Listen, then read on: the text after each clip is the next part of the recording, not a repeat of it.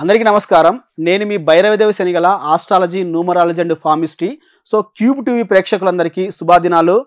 ఈరోజు ఈరోజు మనం ఏంటంటే ఈ మంత్లో మన జులై మంత్లో రాశి ఫలాల గురించి తెలుసుకుంటున్నాము.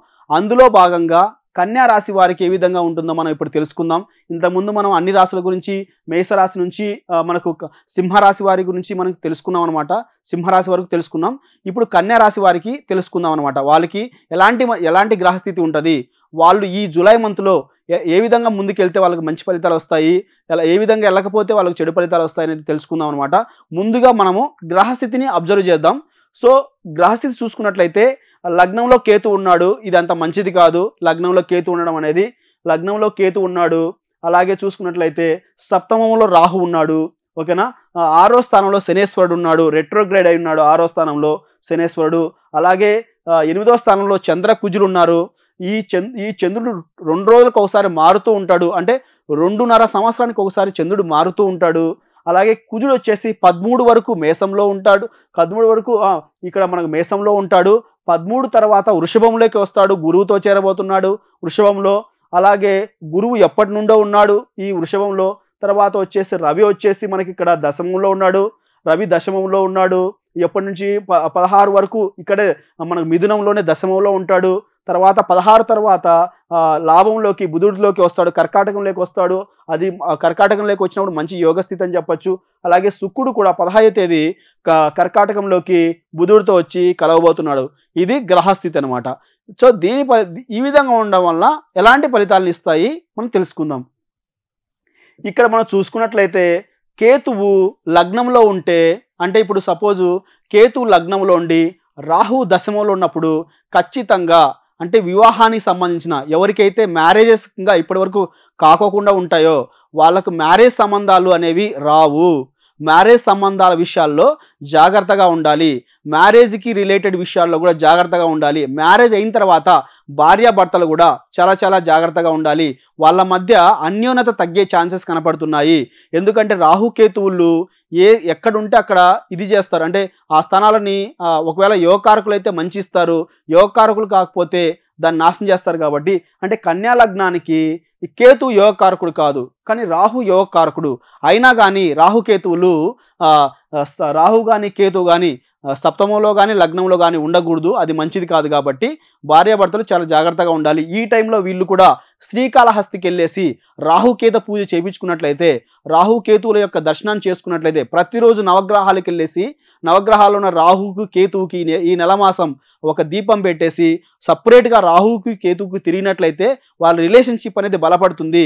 ఒకవేళ వాళ్ళ వాళ్ళకి ఏదైనా మ్యారేజింగ్గా కానట్లయితే ఖచ్చితంగా శ్రీకాళహస్తిలో మనకు ఒక త్రీ టైమ్స్ ఈ మంత్లోనే త్రీ టైమ్స్ వెళ్ళేసి రాహుకేతు పూజ చేయించుకొని ఈ ఈ మా ఈ మాసంలోనే ప్రతి నెల మనకు రాహుకేతు దగ్గర ఒక దీపం పెట్టి తొమ్మిది చుట్లు తిరిగేసి వచ్చినట్లయితే వాళ్ళకు అనేది ఎఫెక్ట్ అనేది తగ్గుతుంది సంబంధాలు రావడం అనేది ఎక్కువ అవుతుంది అనమాట సో అలాంటిది మనం చెప్పొచ్చు అనమాట ఈ రాహు కేతు సప్తమంలో లగ్నంలో ఉన్నప్పుడు. సో ఇప్పుడు ఈ కర్ ఈ కన్యా రాశి వారికి కేతు లగ్నంలో ఉన్నాడు కాబట్టి అంటే ఆకలి అనేది సరిగ్గా వేయదనమాట. అంటే వాళ్ళ యొక్క శరీరాన్ని వాళ్ళు చూసుకోవడం వదిలేస్తారు. అంటే వేలకు ఫుడ్ తినరు. ఎటువంటి అటు ఎటువంటి అటు ఉద్యోగస్తులు అయితే తిరుగుతుంటారు కానీ కరెక్ట్గా టైంకి ఫుడ్ తినరు. మంచిగా టైంకి ఫుడ్ తిన తినండి. లేకపోతే హెల్త్ పాడయ్యే ఛాన్సెస్ కనపడుతున్నది. అదేనమాట. చూసుకున్నట్టు లగ్నంలో ఉన్నట్లయితే.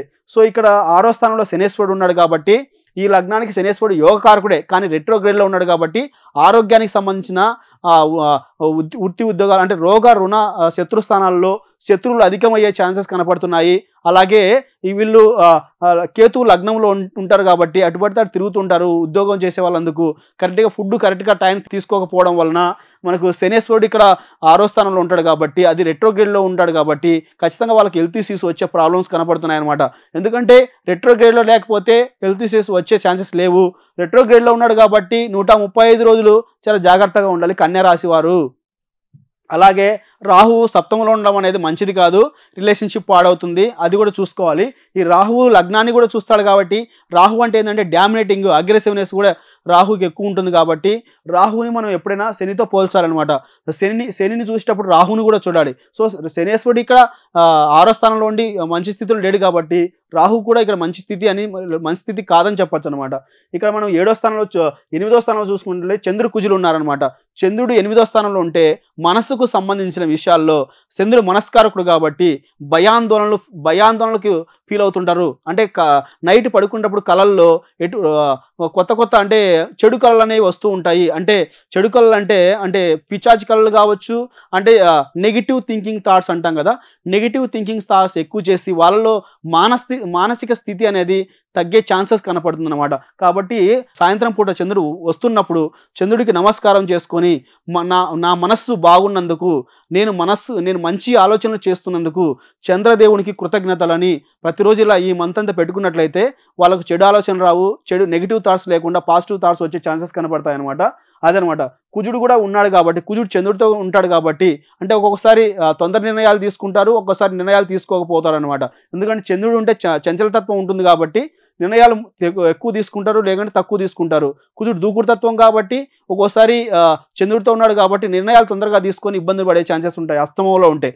అలాగే గురువు భాగ్యస్థానంలో ఉన్నాడు కాబట్టి ఈ లగ్నానికి గురువు అంత యోగకారకుడు కాకపోయినా గురువు భాగ్యంలో ఉంటే చాలా మంచి యోగ స్థితిని ఇస్తుంది.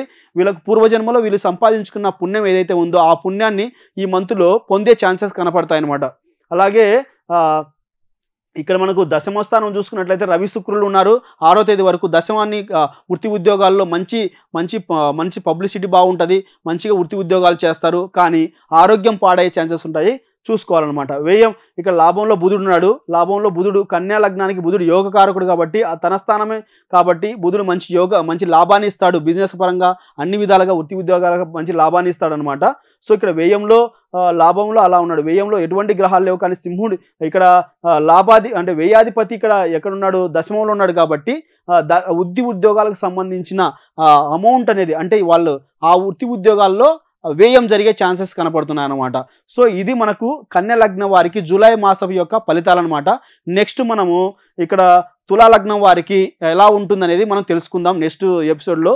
Thank you so much. ఇప్పుడు ఆపరేషన్ లేకుండానే మోకాళ్ళకు ప్లాస్మా ట్రీట్మెంట్. మీ ఆర్థోపెడిక్ సమస్యలన్నిటికీ రోబోటిక్ టెక్నాలజీ ద్వారా తక్కువ ఖర్చుతో శాశ్వత పరిష్కారం. Free consultation. ప్రతి ట్రీట్మెంట్ పై ట్వంటీ పర్సెంట్ డిస్కౌంట్. ఈ ఆఫర్ కొద్ది రోజులు మాత్రమే త్వరపడండి. V nine hospitals nine two eight one four six five eight four two.